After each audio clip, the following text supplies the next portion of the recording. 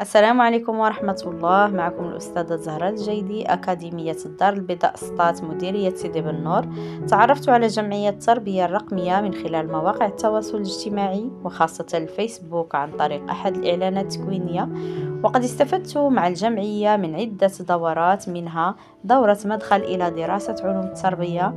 وكذلك دورة الموارد الرقمية والتطبيقات الجوالة دورة المعلم المبدع خبير مايكروسوفت وكذلك دورة تكوين المكونين فوج الثالث ودورة المونتاج التي نحن بصددها اليوم أو ما يعرف بتوظيف الفيديو.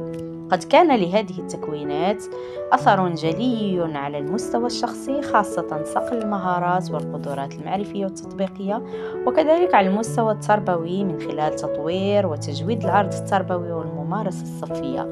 فالشكر كل الشكر لجمعية التربية الرقمية وأنا راضية عن عطائها بنسبة 100% ومزيدا من التألق والعطاء.